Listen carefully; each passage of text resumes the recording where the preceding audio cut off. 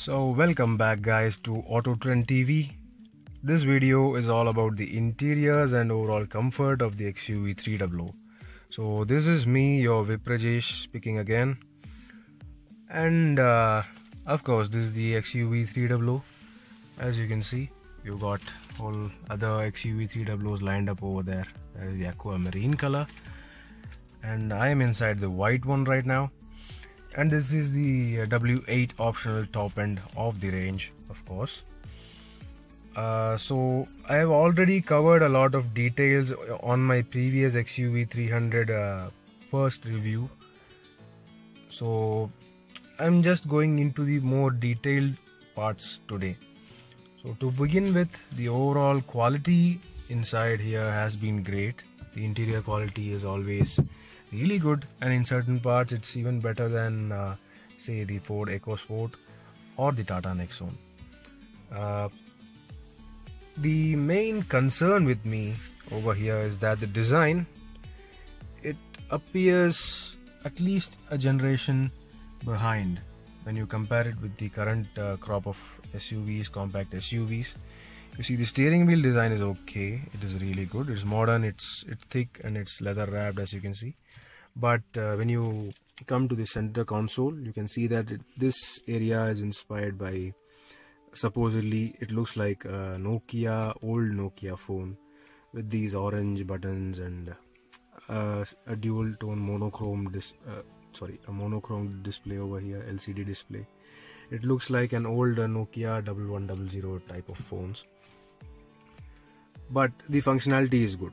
The functionality is good. I cannot fault on that. The functionality is good. Uh, like these are this is the section for the climate control.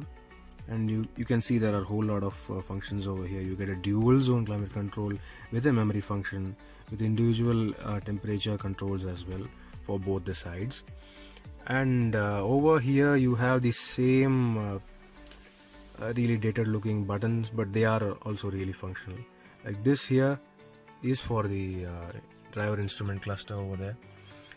Uh, whereas this button over here is for the multiple steering modes. They call it the smart steering system. The like the modes can be changed from city to comfort to sport. So it uh, what it does is it basically changes the steering feel the weight and feel of the steering wheel according to the driving condition you require so that is present over here. And whereas I have covered most of the details in the touchscreen system on my previous video you can kindly watch that if you want. But overall this touchscreen system in one word is really good. It's it's crisp it's slick it's good enough. Uh, but the thing is when you consider overall ambience of the uh, XUV 300 the quality levels are really good but where it seriously lacks is the uh, design overall interior design. It is it's already starting to feel old. When you compare it with the modern crop of touchscreen uh, touch display for uh, AC and uh, like you you get those uh, stand up screens on EcoSport and Nexon. When you compare it with those you feel like you are sitting in a car which is at least a generation behind uh, the current crop of cars. Whereas you get a whole lot of features though. You get a whole lot of features. Uh, like you get uh, leather seats to begin with. The quality is the quality is really good. It's it's firm. It's it's really good. The support is really good. You got thick uh, side bolstering. The front seats are seriously really good. The quality is really good, and the driver's seat has got a whole lot of range of adjustment uh, for height as well as recline and slide as well. Well you get these cruise control functions on the steering wheel. You get uh, seven airbags which is segment first you get seven airbags. So that is a really good point.